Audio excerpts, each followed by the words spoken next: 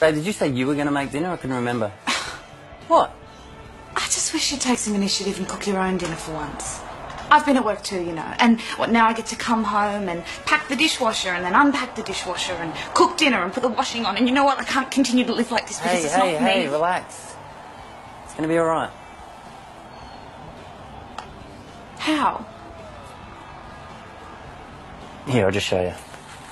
Okay, I've been doing this since you moved in. See this basket thing?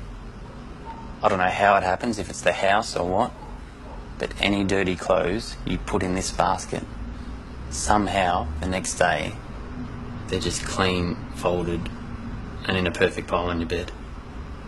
You're not serious. I couldn't believe it at first either, but it just keeps happening. That's why I didn't tell you. I didn't want to jinx it. You are insane. Try it, you'll see. Unless it's only chosen me. See, I don't know. I can't do this. No, wait. There's other things too.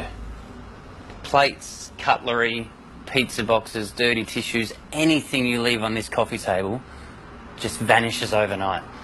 I mean, sometimes I'll see how far I can push this thing and I'll just leave shit everywhere. And then sure enough, the next day, it's all gone. It's just vanished. It's magic.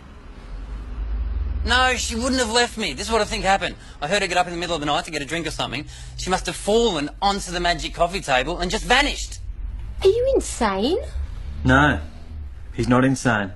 I've got the same coffee table at home.